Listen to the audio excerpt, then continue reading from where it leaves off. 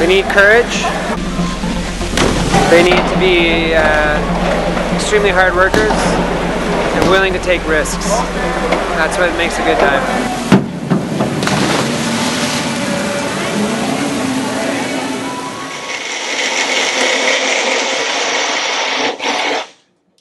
That's Chester. He's uh, old. Well, I'm only home for a week. So yesterday I had weights, and then today I have two trainings. Uh, this bag I have because I haven't been to the pool in like a week, so there's nothing in my locker at the pool. Socks, suits, uh, shorts, shirts, a towel, uh, sandals, shoes, water bottle, cream, and a chamois. That's about it.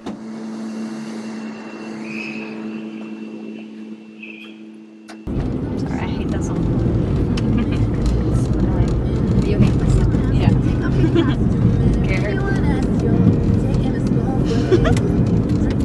In the morning, I listen to nothing. Just quiet.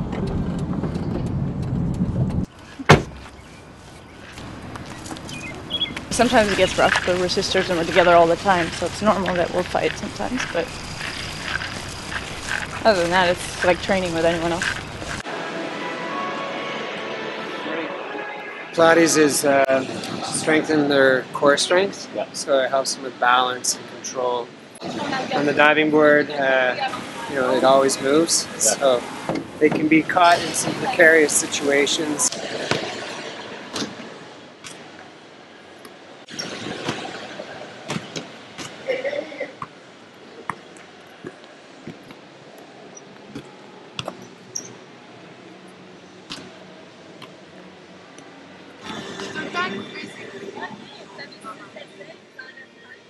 Our dives are, not always perfect.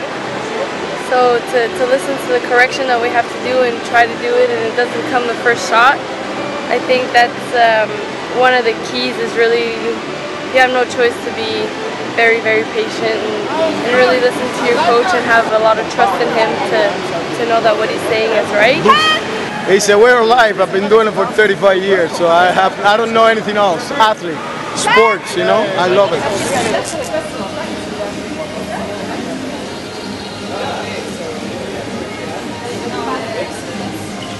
Today is especially a really hard day. It's all our dives on 10 meter many times. And we have synchro this afternoon, so Wednesdays are hard days. Yeah, we have to start one step at a time, not just throw ourselves off 10 meter right away.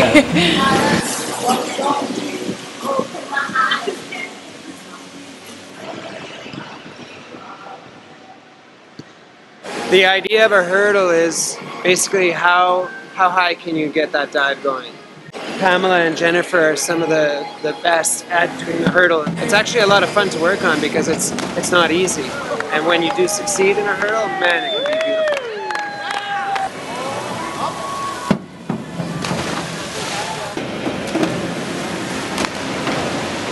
Finish on hold under for minute and open like this.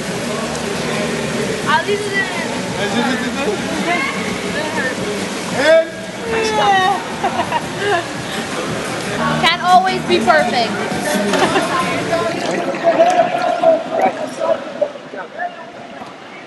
I just want to go back in my bed.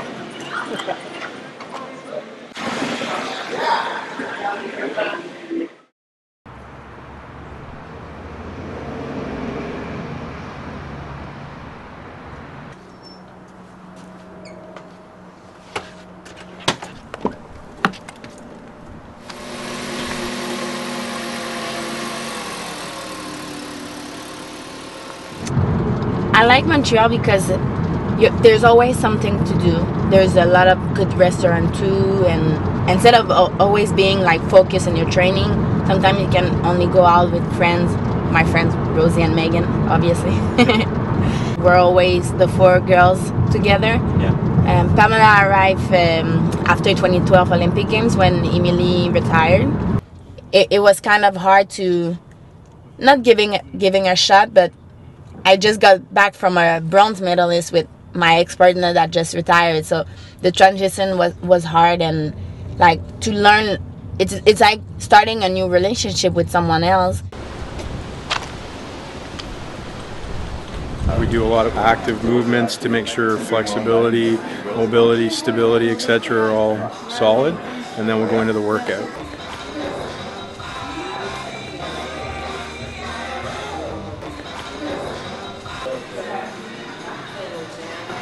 I make them suffer, and that's my goal. Make them work. You can't cheat at all. If I let them cheat, then they're not, they're not going to benefit of it. They don't connect with big weightlifting. It's not in their genes in a sense. They're artistic athletes. They like to move. So to make the program too much about you know bulking and strong and stuff, they don't really connect with that in terms of what they're doing. Time to go back to sleep. Gonna go home and rest because I'm sore. And tomorrow's a big day again, so. What?